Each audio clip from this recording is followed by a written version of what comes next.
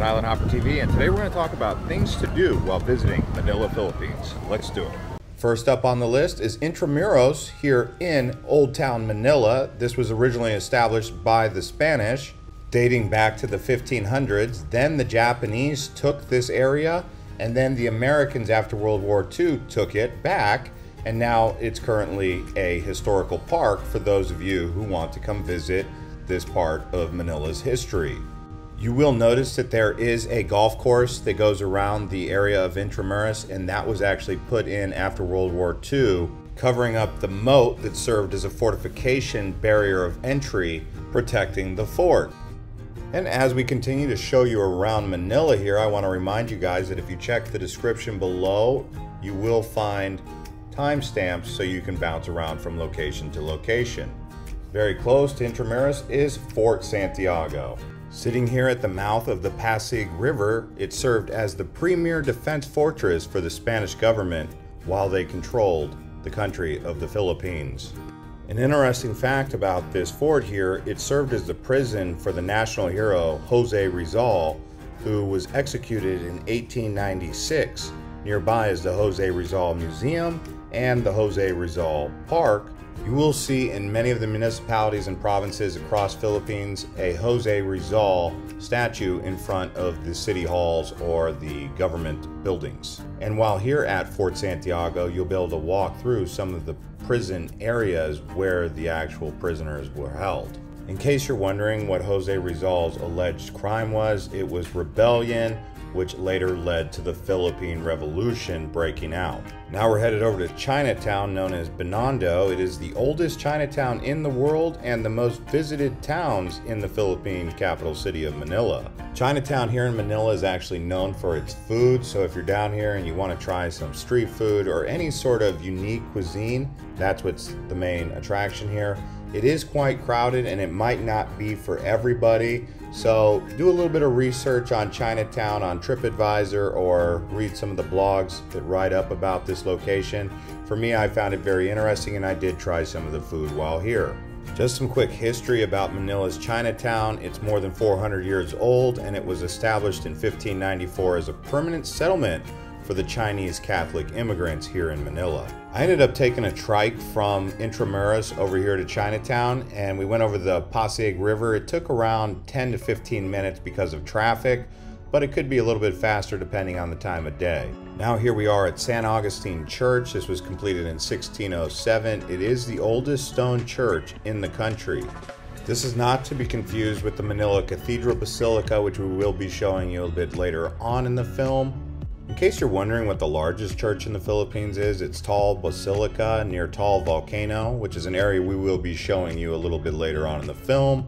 Also, if you plan to visit the Philippines, check the link description below because there are several more videos we are making from across the country.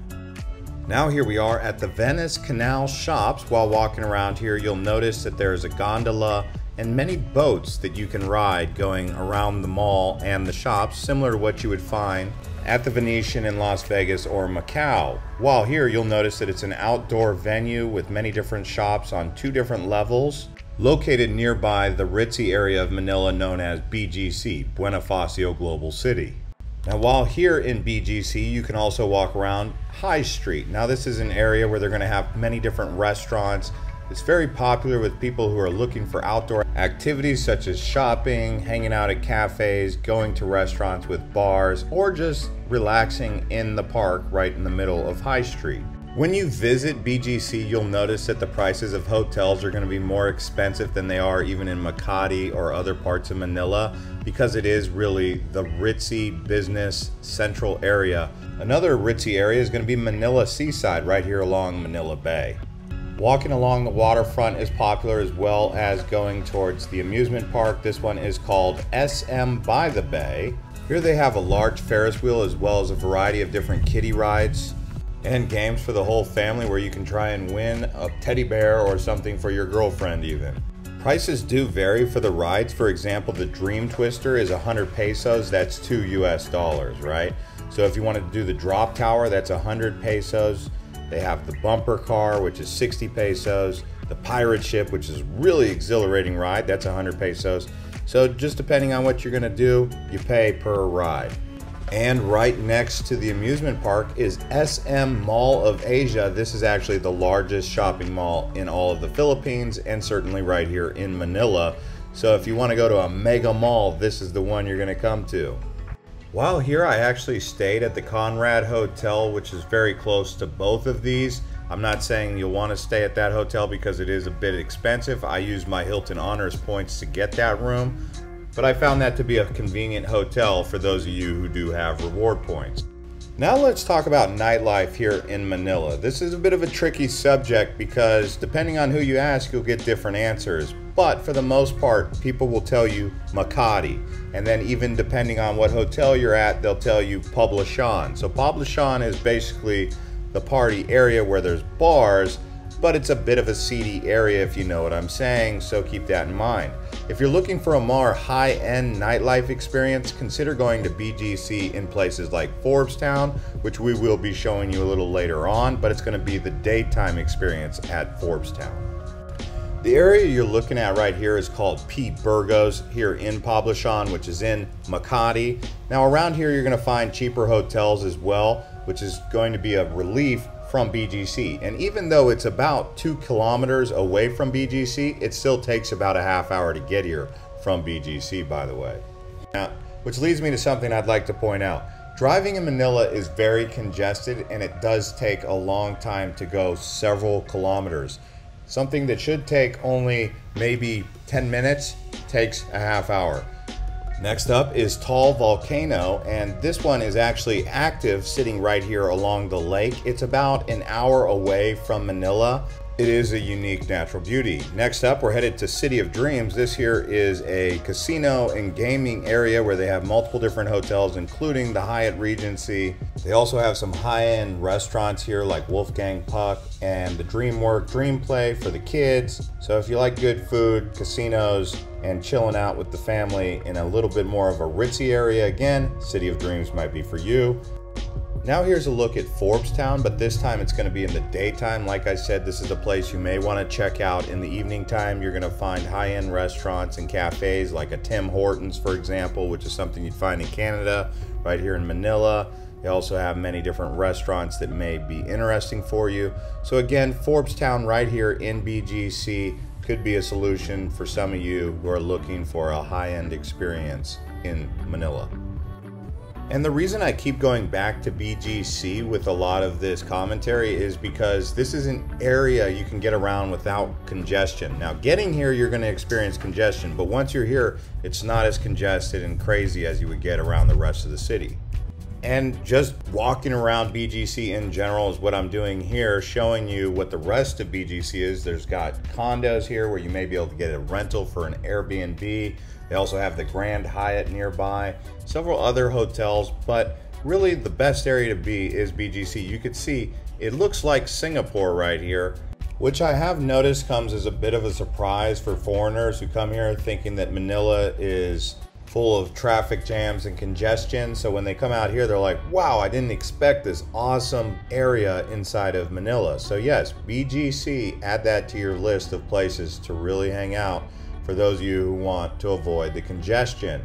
But it's going to come at a price, right? It's expensive here. I found it to be easy to walk around, but if you wanted to take one of these rental scooters to go around or rent a bike, you can do that. Also, there's going to be plenty of taxis and they have Grab readily available, so download that app. Now we're over here doing a Manila haircut style. I like to get my haircut here in Manila with one of these local guys who know what they're doing with the switchblade and know how to trim it, line it up really nicely. So if you want a good treatment for a fair price, get your hair cut and line up with some nice shampoo and conditioner and walk away feeling fresh and clean as you go around Manila's streets. This haircut service I got was at Big Boss Barber right here at Venice Canal Shops, in case you're wondering. We got some adobo and some lumpia. So the adobo definitely tastes like it's uh, pork. Doesn't taste like a chicken. Okay, so I got some prawn tacos here.